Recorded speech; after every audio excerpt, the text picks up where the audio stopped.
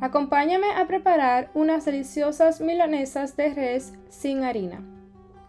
Lo primero que hice fue lavar y cortar las milanesas y las sequé con una servilleta o papel absorbente. También las sazoné con un poco de adobo, sal, ajo y cebolla en polvo y un poco de pimienta.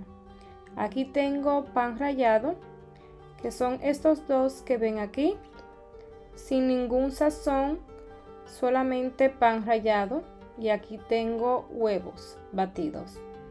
El primer paso es pasar las milanesas por el huevo, escurrirlas un poco y luego por el pan rallado.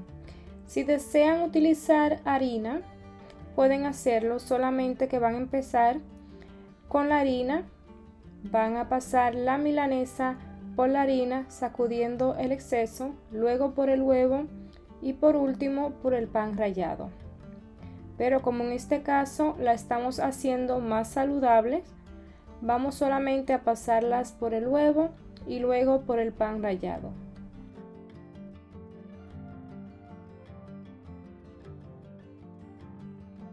Con el fuego medio agregamos aceite, cuando esté caliente añadimos dos milanesas a la vez y las vamos a freír por más o menos de 2 a 3 minutos por lado o hasta que estén doraditas.